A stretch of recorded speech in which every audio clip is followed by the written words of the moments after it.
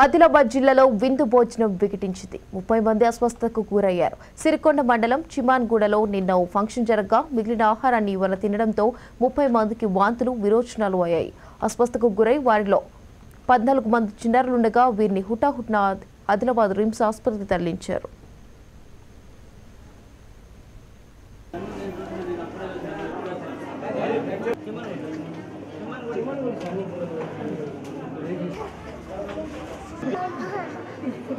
வீட்டில் அண்ணா வீட்டில் அண்ணா.